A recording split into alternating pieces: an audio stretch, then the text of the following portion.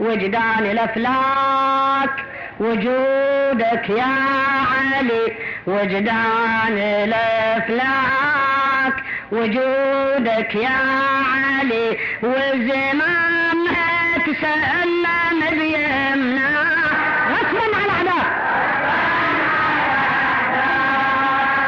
مفروض عنا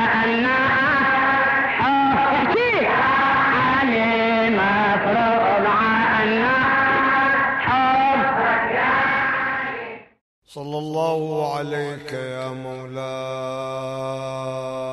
يا أبا عبد الله.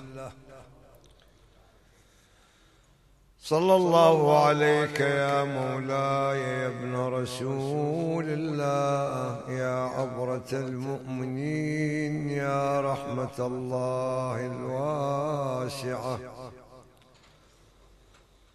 ويا باب نجاة الأمة ما خاب سيدي من تمسك بكم. وأمن من لجأ إليكم يا ليتنا كنا معكم. فنفوز.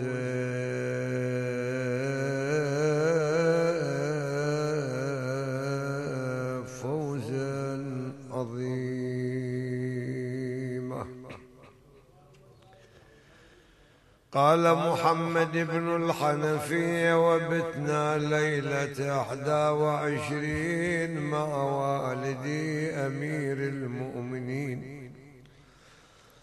عليه السلام وقد نزل في جسده الشريف سم الضربة لأن السيف الذي قتل به علي كان مسموما. وذكر أرباب التاريخ والسير أن عليا عليه السلام. لما ضربه ابن ملجم المرادي قال قتلني ابن اليهودي. لا يفوتنكم وصرح الإمام علي عليه السلام باسم قاتله. حتى لا يؤخذ البريء بالسقيم ثم قال لا يتبعه أحد سيظهر عليكم من هذا الباب. وبينما هم كذلك وإذا بالصيحه التفتوا وإذ يرون عدو الله أقبل به جماعة يجرونه وأوقفوه بين يدي الإمام علي عليه السلام.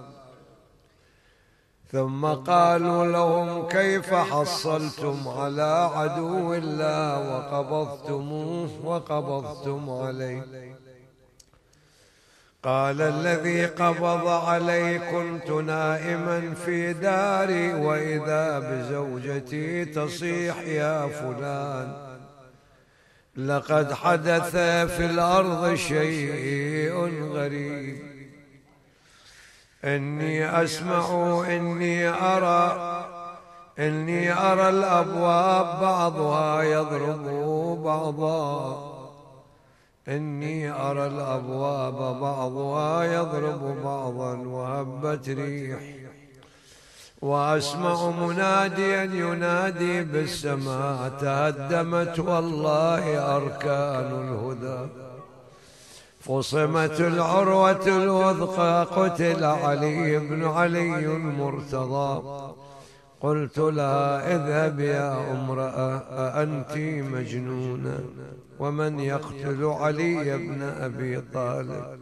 وهو المميت المائد وخواض المنايا قالت قم وانظر بعينك وأنت تشاهد الأمر بنفسك. قال فقمت وإذا أرى ذلك الريح الشديد. وأرى أبواب بيتنا بعضها يضرب بعض. ثم خرجت في حارة محلتنا واجتمع الناس هناك. ونحن نتساءل. ولكن بحالة مذهلة. وبينما نحن كذلك وإذا بعدو الله ابن ملجم أقبل يهرول قلنا له يا ابن ملجم ما هذه الصيحة. قال لا أدري. قلنا له تعال معنا إلى المسجد حتى نعرف خبر أمير المؤمنين. قال أنا مشغول بأهم من ذلك. قال فرفعت يدي لأضربه وأنا أقول له وهل هناك شيء أهم من أمير المؤمنين؟ أبي الحسن والحسين. فلما رفعت يدي لأضربه اتقى ضربتي أو اتقى يدي بيده. فانكشف فرفع ثوبه أو رفع رداءه فانكشف سيفه الذي أخفى تحت رداءه وفيه دم عرفت أن الخبيث هو الذي نفذ الجريمة فقبضنا عليه وأوثقناه كتافا وأتينا به الآن إليه. هنا الإمام التفت إلى ابن ملجم قال له ويحك هذا جزائي منك تقتلني وتيتم أولاي. قال يا علي أو أنت تنقذ من في النار؟ إن سيف اشتريته بألف. وسممته بألف. ولو أن ضربتي هذه وقعت على أهل هذا البلد لأتت عليهم جميعا. ثم التفت الإمام علي عليه السلام إلى ولديه وقال لهما حافظا عليه ولا تتركا للناس إنهم يمزقون. أما تنظرون إلى عيني قد طارتا في أم راسه أيها المسلمون اسمعوا هذا الكلام من علي بن أبي طالب. وهل أن هناك شخصا في دنيا الوجود يحمل خلقا وإنسانية ورحمة ورافه مثل أمير المؤمنين؟ الإمام يقول لخصمه لقاتله لماذا تقتلني؟ وتيتم اولادي شنو جواب الخبيث؟ يقول له يا علي أو أنت تنقذ من في النار؟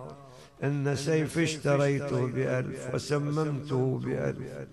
ولو أن ضربتي هذه وقعت على أهل هذا البلد. لأتت عليهم جميعا. بكل وقاحة. الإمام علي يشوف الناس الجمهرة يردون يأخذوا يمزقوا هذا. لابن ملجم الإمام يقول للحسن والحسين الله الله في أما تنظران إلى عينيه قد طارتا في أم رأسه. لا تتركها إلى الناس فإنهم يمزقونه وكان يوصي به. أسألكم بالله هل سمعتم شخص في الدنيا خصمه قبضوا عليه؟ قاتل قبضوا عليه ويوصي به بالرحمة والشفقة مثل علي بن أبي طالب. أبدا لا. على أي حال هذا والإمام كان إذا أتوه بالطعام. وبقي منه شيء يقول انقلوا إلى أسيركم. عبد الرحمن بن ملجم. الله الله في أطعموا مما تطعماني. واسقوا مما تسقياي وهكذا كان يوصي حتى أوصى الحسن. قال يا حسن أنت ولي الدم. إذا أنا مت من ضربة هذا الرجل فأنت الولي فلا تضربه إلا ضربة واحدة ولا تمثلوا به فإن المثلة حرام ولو بالكلب العقور هكذا سمعت رسول الله. صلى الله عليه وآله يقول وأما إذا عفيت من ضربة هذه فأنا أعرف بالأمر وحقيقة لو عفي الإمام لعفى علي سلام الله عليه. هذا وبعد ذلك حملوا الإمام سلام الله عليه أولاده إلى داره أنا حر قلبي للعقيلة زينب انحنت على أبيها. تقل يصل الفياف يا أبويا يا علي. يصل الفياف بجمرة الصيف ويا قطب الوغى ويا ليث المخيف. والله يا شيال دركال التكالي فألف واسفه يا ابو يا والي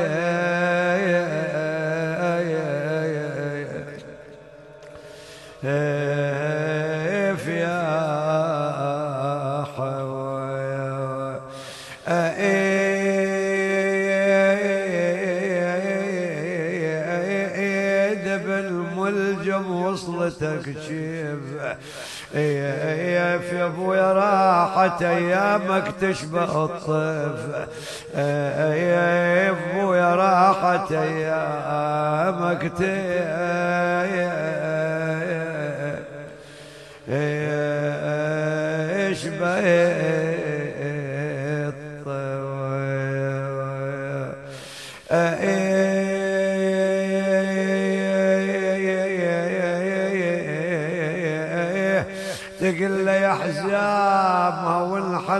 ونحل الاحزاب أيام علينا الكدر والعيد بالشام إيه علينا الكدر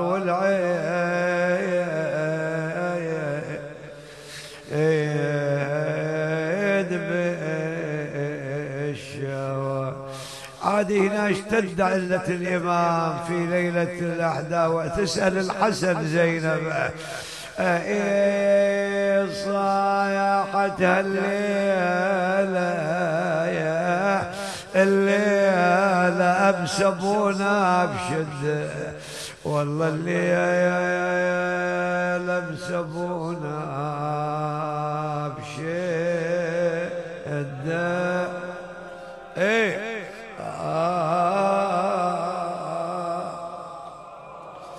بشدة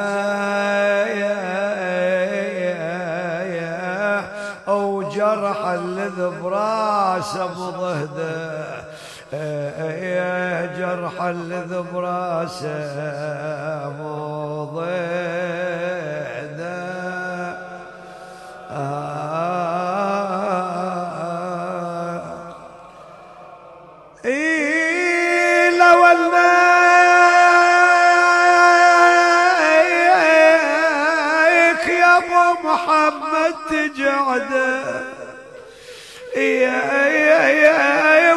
وشنو الذي هيسة تنشده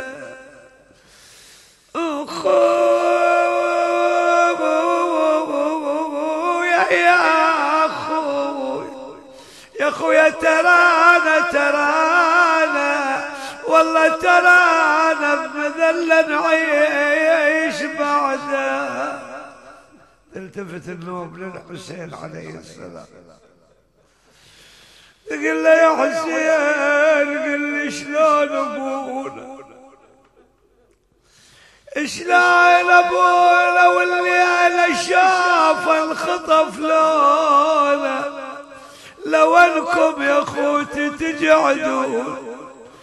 إيه لو أنكم يا أخوتي تجعدون.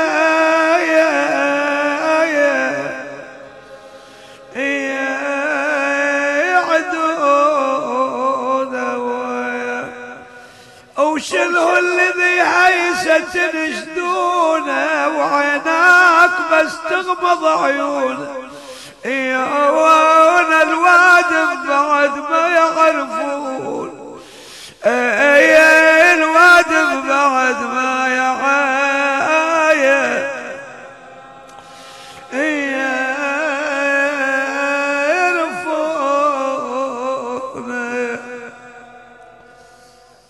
قال محمد بن الحنفية وقد اشتدت علة والدي. وفي تلك العشية أذن الإمام إذنا عاما للناس أن يسلموا عليه ويودعهم ويودعون.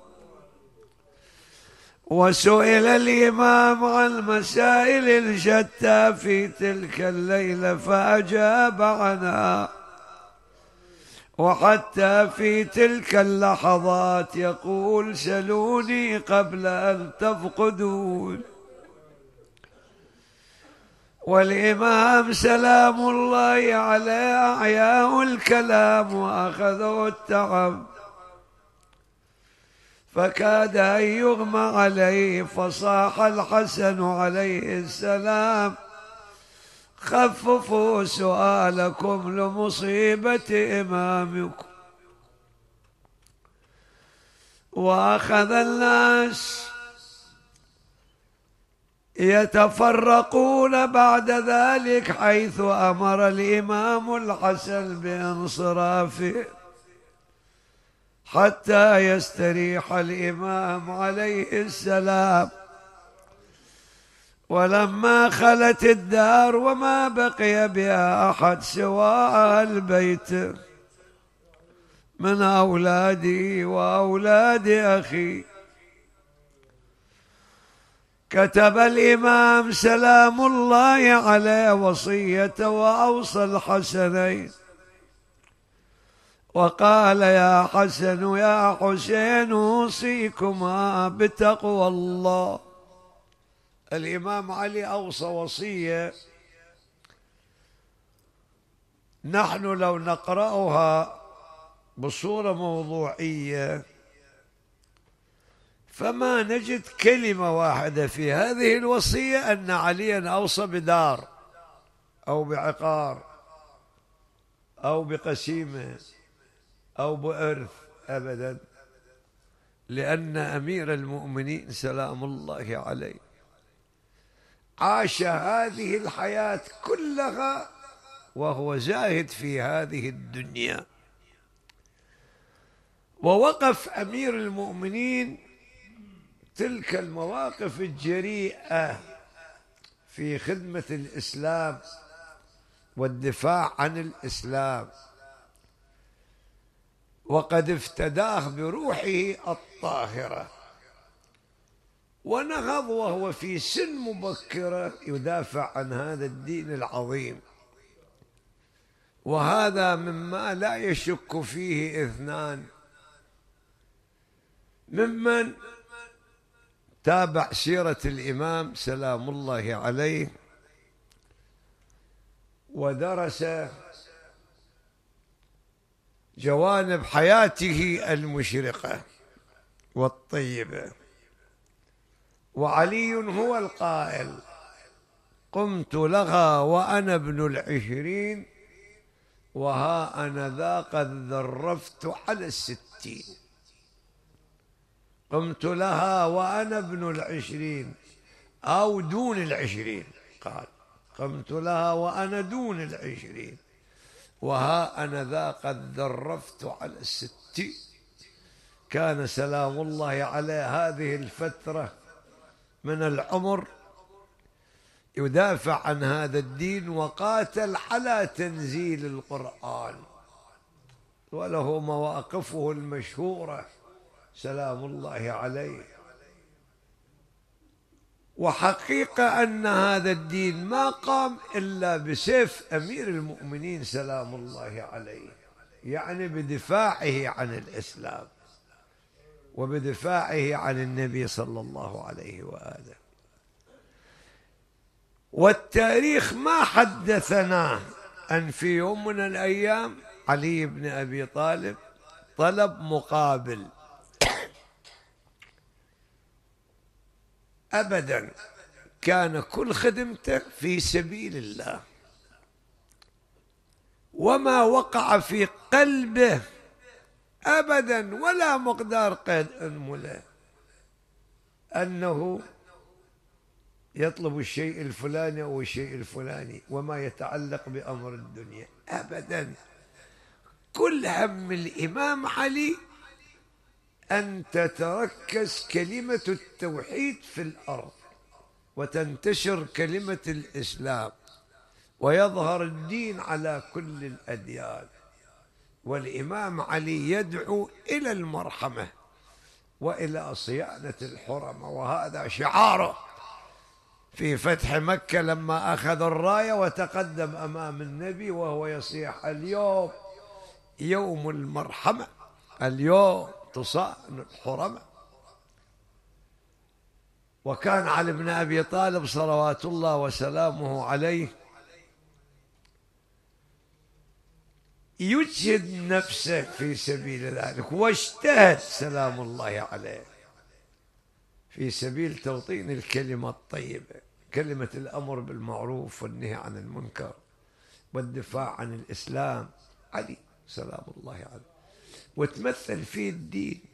والدليل على ذلك قول النبي صلى الله عليه وآله لما برز علي بن أبي طالب إلى عمرو بن عبد ود العامري في معركة الخندق قال برز الإيمان كله إلى الشرك كله.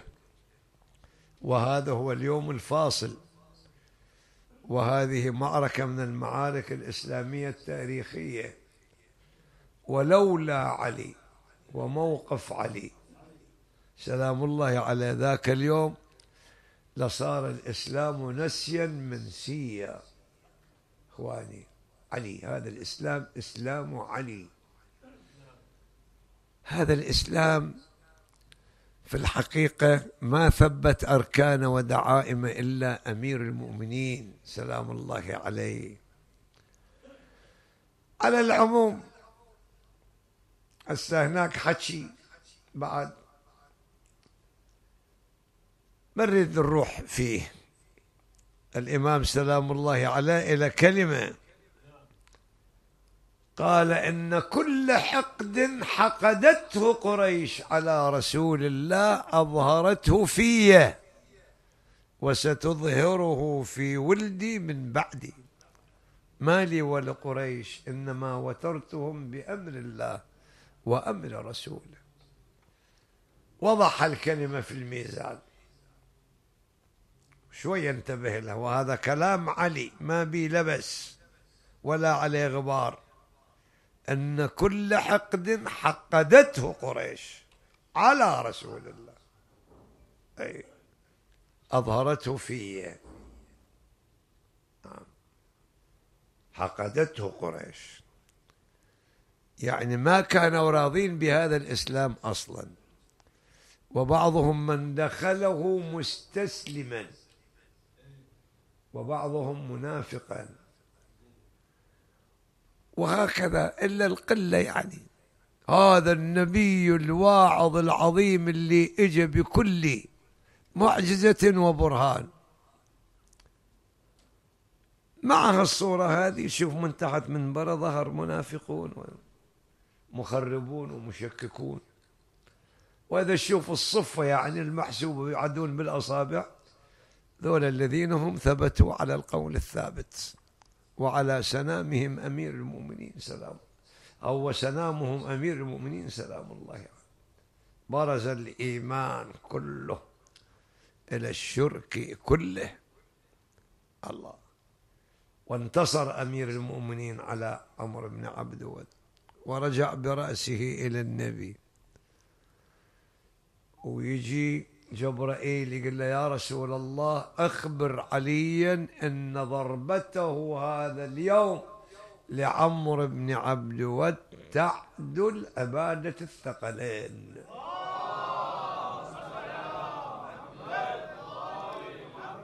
أي عبادة الثقلين. فعل ابن أبي طالب صلوات الله وسلامه عليه هل تعتقد أنه يطلب جزاء والله شيء يريد يعني ينطي النبي. أصلا أمير المؤمنين سلام الله عليه ما اقتنى في حياته لا دينارا ولا درهم وكان يؤثر على نفسه. وهو المعني بقوله تعالى والذين يؤثرون على أنفسهم ولو كان بهم خصاصة ومن يوق شح نفسه فأولئك هم. فهاي في قضية مفصلة. على كل حال المعني علي سلام الله هاي معركة بدر العظيمة. حصة علي منها حصة الأسد من الذبيحة. في يوم بدر قتل من قريش سبعون بطل. خمس وثلاثين قتلهم المسلمون من المهاجرين والأنصار اشتركوا في قتلهم. وخمسة وثلاثين بطلا قتلهم علي بن أبي طالب بيده.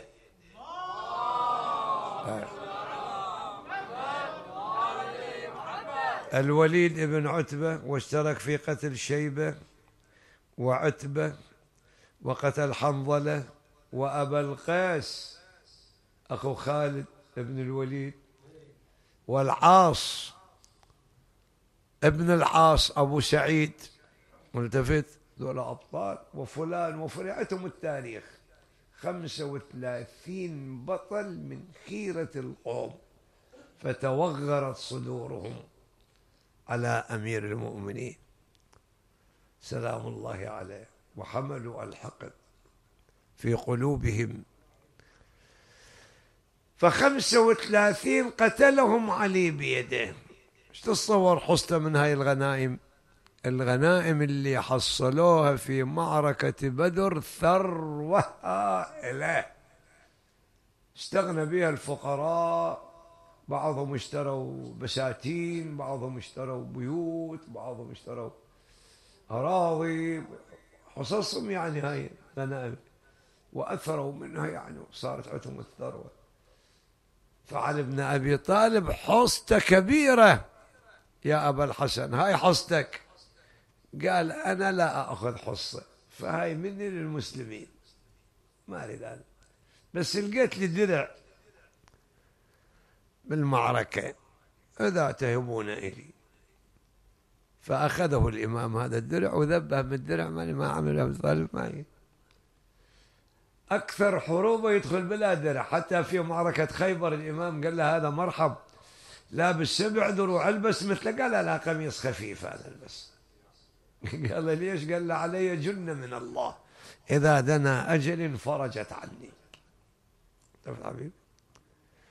وأخذ هذا الدرع وذب على ابن أبي طالب أصلا ما إلى بي شغل.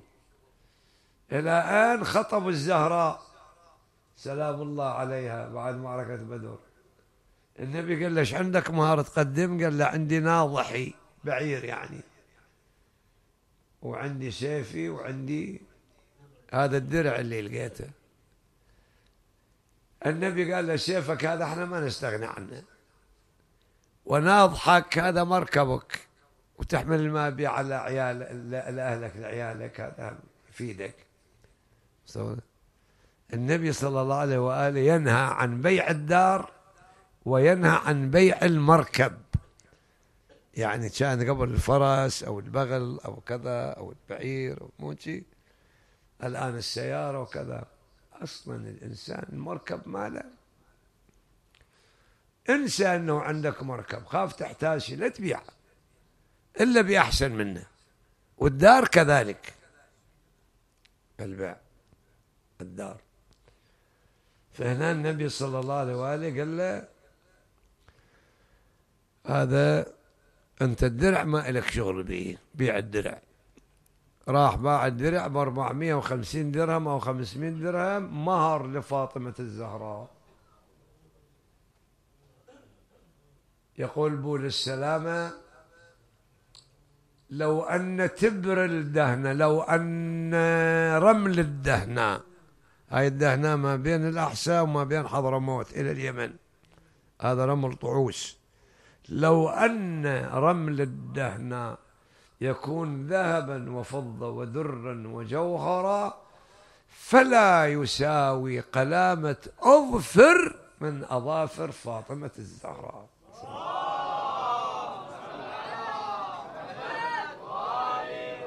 هذه الزهراء سلام الله عليها. جاب الدراهم الإمام صبها يم النبي والنبي هزها قال خير نساء أمتي من أقلهن مهرا.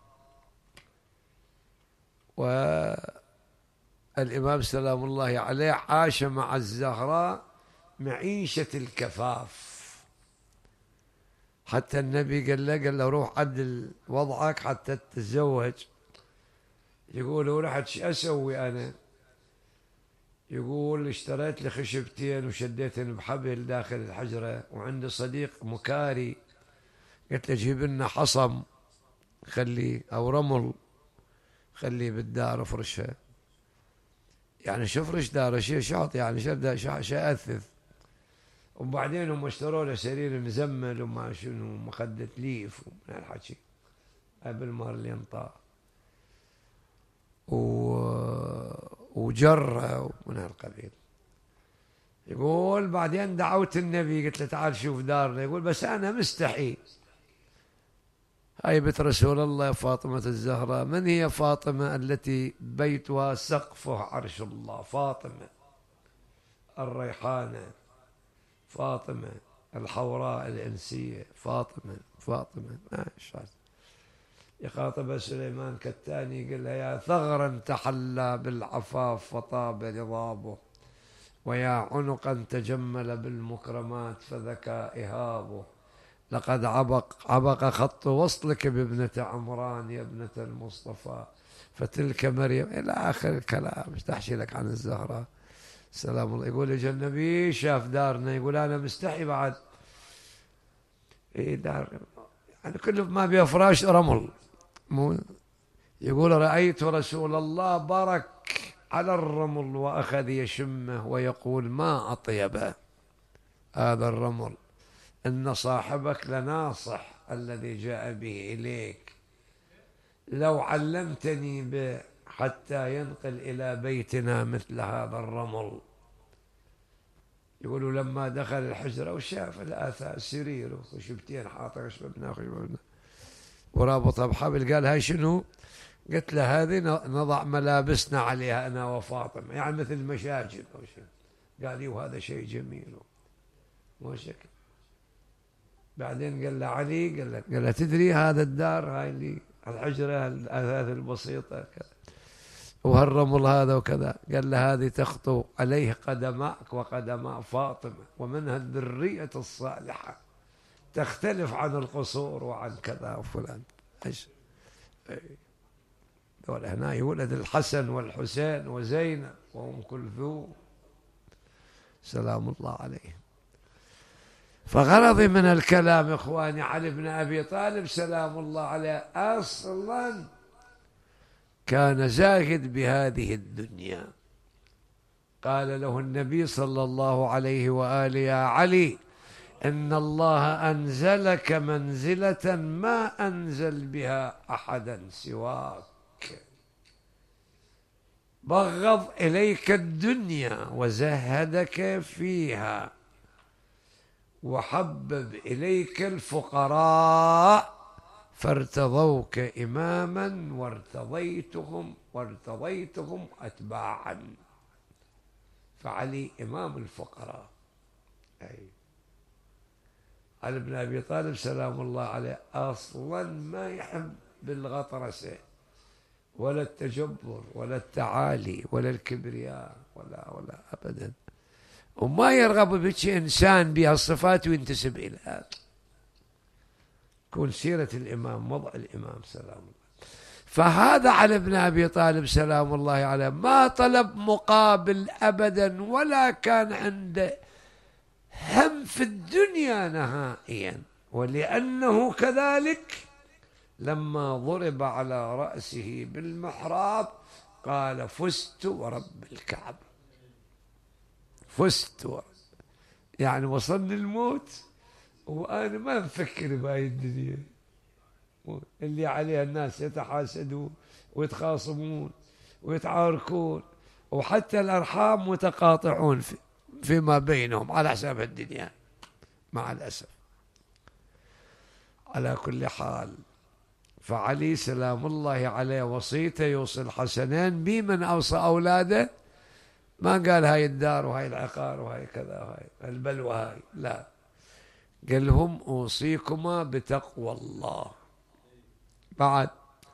وأن لا تبغي الدنيا وإن بغتكما. وقولا للحق واعملا للأجر. وكونا للظالم خصما. وللمظلوم عونا. يا بني ويا العبد المطلب ويا من بلغه كتابي هذا لا ألفيكم وأنتم تخوضون دماء المسلمين خوضا. تقولون قتل ابن أبي طالب قتل ابن أبي طالب. ما أريد هاي. تقعدون؟ وقلت يمكن فلان يدري وفلان له علاقة وفلان عنده علم وفلان. تتهمون الوادم وهذا حابسينه وهذا ثاكلين عياله وهذا ميتمين أطفاله وهذا أبدا. ما أريد هاي. اقتلوا بي قاتل بس هذا نفذ الجريمة والباقي اتركوه. لا تسألوه. شنو هذا الذوق؟ الخلق هذا؟ ثم بعد ذلك قال لهم أوصيكم بصلاح ذات بينكم. إني سمعت رسول الله صلى الله عليه وآله يقول إن صلاح ذات البين أفضل من عامة الصلاة والصيام. صلاح ذات البين. تصلح بين اثنين؟ أفضل مما تروح العمرة وحاج وشي بعد الواجب يعني. وأفضل من كل عمل تعمله. تصلح بين الناس إخوان. وخير الناس من نفع الناس. ثم أخذ يوصي وصايا الله الله في اليتامى. فلا تغب وفاهم الله الله بي في جيرانكم. إنها آخر وصية نبيكم. الله الله في القرآن. لا يسبقنكم بالعمل اليه غيركم. الله الله. في الزكاه الله الله في الصيام. الله الله في الصلاة. إنها عمود دينكم. ثم أخذ يوصي بالضعفين وأوصى بالنساء خيرا. وقال إن المرأة ريحانة وليست بقهرمانة. دير بالك عليه قارورة ارحمها يا رفوية وهكذا. إلى القائل يا حسن يا حسين أوصيكما بأخوتكم من غير أمكم. أتكم أخوة من غير أمكم مثل محمد والعباس وفلان وفلان. ثم أوصى أولاده من غير فاطمة بطاعة الحسن والحسين. ثم أخذ الإمام ينظر إليهم نظرة الوداع. ثم قال لهم أستودعكم الله وأقرأ عليكم السلام. ثم مد الإمام رجله وأسبل يديه. وغمض عينه وأدلى شهادتين ثم قال أستودعكم الله يا الله. ثم قال أستودعكم الله. وقضى نحبه. أيوا إماما. رحم الله من نادى وإماما. أيوا سيدا وعليا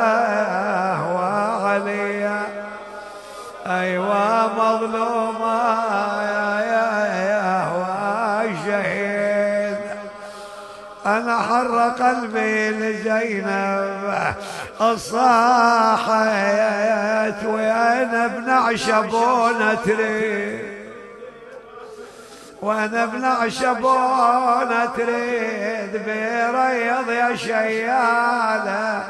مجبل على الناس العيد. ليش يتم عيال؟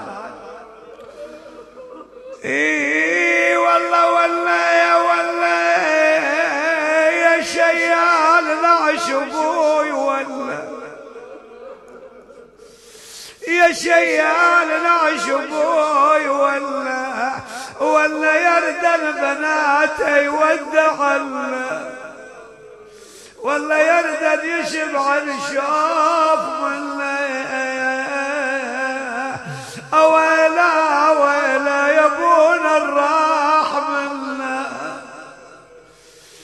صاحت يا شيايل يا شيايل نعش أبوي تاني.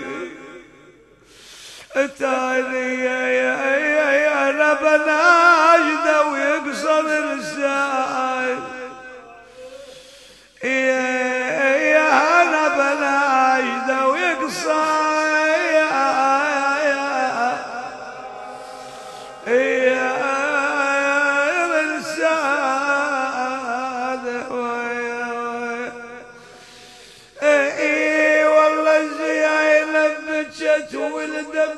دم سايل وصاحت بصوتي. صدع الجبال يا يا حامل حميال بك الامثال يا يا ابويا بعيد البلا بعيد البلا يا أبوي ابويا بعيد البلا من الدار.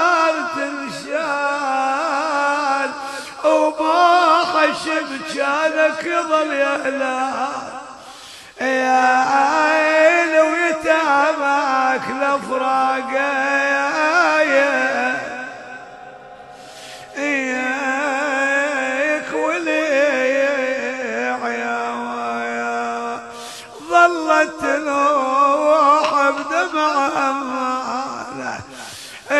تقل يا أبويا بعيد البلا بعيد البلا بعيد البلا نصبح بصبري.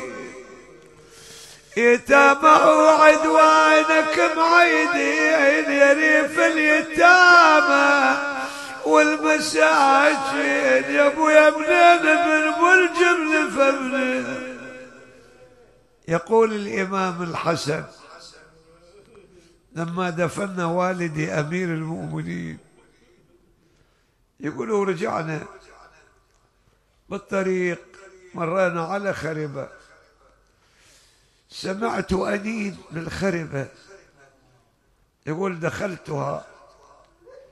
وإذ أرى رجل كبير السن مشلول نائم على قفاه ويبكي. قلت يا شيخ مما بكاؤك؟ قال يا بني اتركني وماذا تريد مني. قلت بالله عليك علمني. قال يا ولدي وهل تنفعني بشيء؟ قلت إن شاء الله أنفعك. قال أنا منذ زمن بهاي الخربة وبهذا الحال الذي ترى. وفي كل ليلة يأتيني رجل يغسل يديه ورجليه ويغير ملابسي ويطعمني ويسقيني. وله ثلاثة أيام غاب عني. ولا أدري ما الذي فرق بيني وبينه وأنا حالي يرثى له. ولا أدري لماذا أمتنع من المجيء إليه. فقال له الحسن أتعرفه يا شيخ؟ قال لا والله. قال يا شيخ هذا والدي أمير المؤمنين. أبو الأرامل والأيتام قال إذا إلى أين راح عني؟ قال الآن فرغنا من دفنه. قتله ابن ملجم لما سمع الرجل. شاق ثلاث شاقات متتابعة. ثم قضى نحبه ودفنه الإمام الحسن. عاد لما وصلوا للدار وقت الغروب اجت زينب تسأل الحسن والحسين تسأل الدفان شلون دفن أمير المؤمنين؟ اجت زينب زينب بكت والعين عبره والعين عبره اجت للحسن قعدت بكثرة. تقل يا شمامة الزهرة يا خويا دلنا على أبويا وين قبره يا دل على بايا وأنا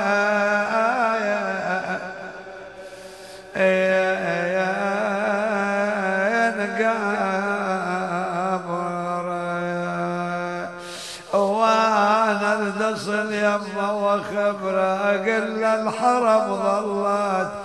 مسيره كسرنا الزمان شلون إيه كسرنا الزمان شلون؟ أنا كسر طلبت يزوروها قبر أبوها وأخذوها. بعز وجلاله وهبه. ومحمل أي وحجاب وحافين فيها بني هاشم وأبو فاضل. وزارت قبر أبوها علي. لكن أقول شلون لما زارت قبر الحسين؟ زينب لما رجعت من اليسور من الشام. وما عندها ولي ولا عمي.